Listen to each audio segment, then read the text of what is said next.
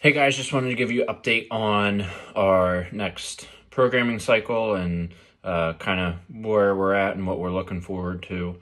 Um, week eight, our test week begins on Monday, January 18th. Uh, we will be testing our back squat, deadlift, split jerk.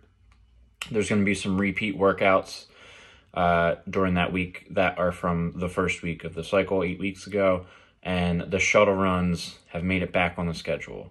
Excited about those. Uh, we'll take a week off, and then the first week of February, we will start a new cycle. Um, we're going to have our open workouts back on Saturdays. Uh, the CrossFit Open begins the 11th of March.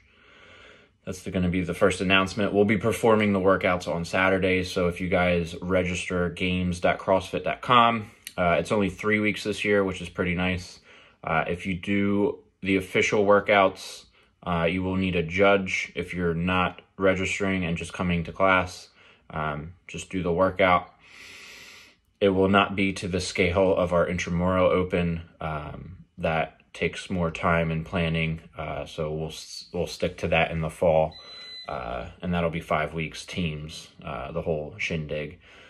Uh, and also programming moving forward, we're going to kind of hold back on partner workouts for a little bit until things kind of calm down. Um, more vaccinations, less cases, and most likely spring, March, April-ish.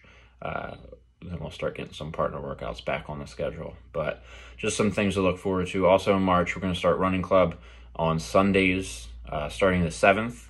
Uh, I'm planning, trying, hoping to get a 5K here sometime in the spring, most likely April, maybe May. But uh, I'm going to talk to the race director and see what works best.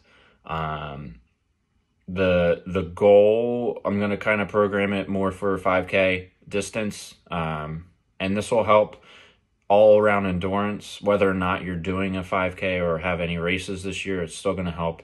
Um, increase your endurance and capacity.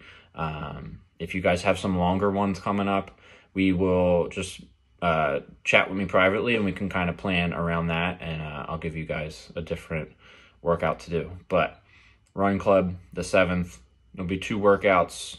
One will be a group workout together and the other will be you'll be responsible for on yourself on your own. Um, so other than that, guys, we're start new cycle, uh, getting through the spring. Hopefully, uh, you know, we see a turnaround after after this winter.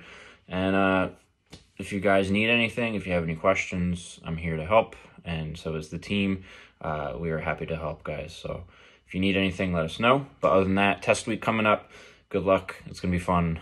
We'll see you out there. Have a good night, day, morning, whatever time is I post this.